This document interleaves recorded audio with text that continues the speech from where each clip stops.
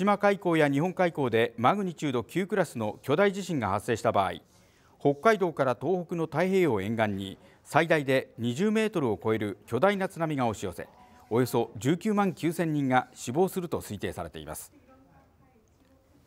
このため内閣府は千島海溝や日本海溝でマグニチュード7クラスの一回り小さな地震が起きた場合にはさらなる巨大地震に念のため注意を呼びかけることが必要だとする報告書をまとめました。